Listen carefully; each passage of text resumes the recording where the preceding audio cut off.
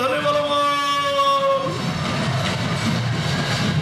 উপস্থিত আমার হরিচাঁদ ঠাকুর, ঠাকুরের উত্তরসূরি, জগৎ জননী, সীমা মা দেবী সভাপতি সুদী ভক্তবৃন্দ সর্বচরণে প্রণাম জানাই। আজকে আমাদের মঞ্চে যে মা বসা, আমার আলোচনা হবে, মার সম্পর্কে দুটো কথা বলব। ব্যাসদেব লিখছেন যে সাগর মন্থনে লক্ষ্মীর জন্ম।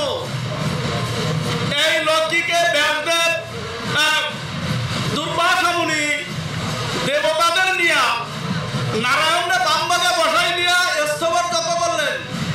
এই হলো জগতের নারী জাতি এই হলো লক্ষ্মী। লক্ষ্মীর জন্ম হলো।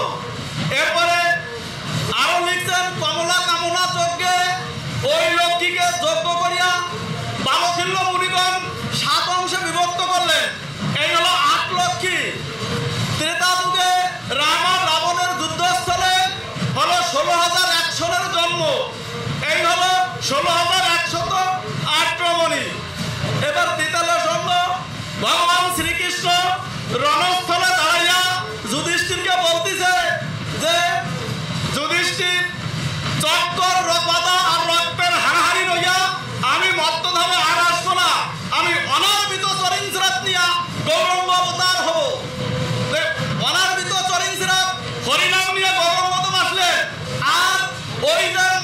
ষোলো হাজার একশত আক্রমণী যে মা অন্য পূর্ণ শক্তি বিশ্বপ্রিয়ার রূপ ধারণ করিয়া গৌরঙ্গদেবের সাথে মিলন হলেন।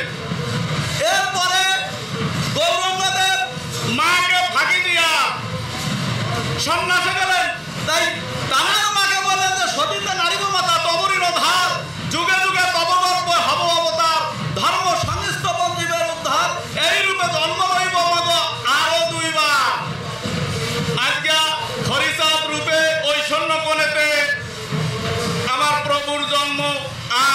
সেই সত্যের বেদবতী বেদবতী হচ্ছে লক্ষ্মী। ত্রেতায় সীতা দাবরের রুক্মিণী আর কলির প্রথম হচ্ছে বিষ্ণুপ্রিয়া। সেই বিষ্ণুপ্রিয়াই শান্তি মাতার রূপ ধারণ করে আমার ওড়াকান্দির বাড়ি জন্ম নিয়েছেন।